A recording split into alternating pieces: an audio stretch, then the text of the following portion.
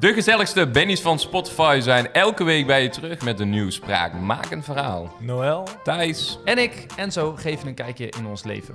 We vertellen elke week de meest Benny-achtige verhalen en we geven ons mening over verschillende onderwerpen en dilemma's. De Benny Podcast is elke vrijdag om 4 uur te beluisteren op Spotify. En vergeet zeker niet alvast te abonneren.